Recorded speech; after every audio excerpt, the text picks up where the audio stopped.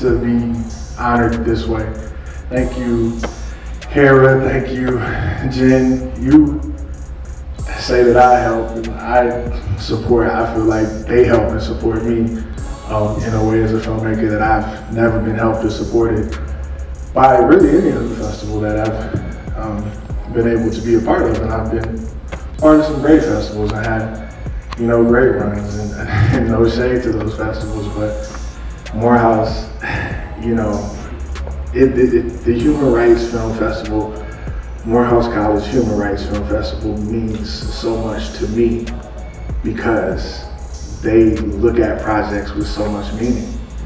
And there's no other festival, I mean, zero in the world that is doing that. And so it's so important to understand that as a filmmaker, if you are doing projects and you have intention, or you are doing films and you want to make a difference, this is a place for you. And I'm saying that being somebody who's out in Hollywood, again, no shade, but that's not necessarily what they're looking for. And that's hard for us to get because honestly, especially as black filmmakers, a lot of us are built to want to do something to change things. Hollywood is just kind of saying, hey, we want to escape, we want to move. We, I don't want to hear about pain, I don't want to hear about change. I want to blow some stuff up and shoot a few people.